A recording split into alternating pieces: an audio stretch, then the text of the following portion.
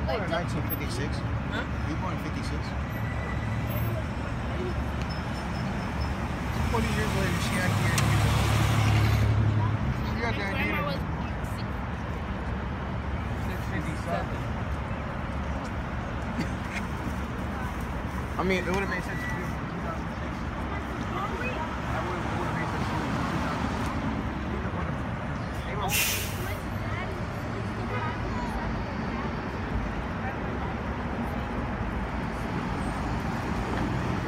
Only daddy will be older.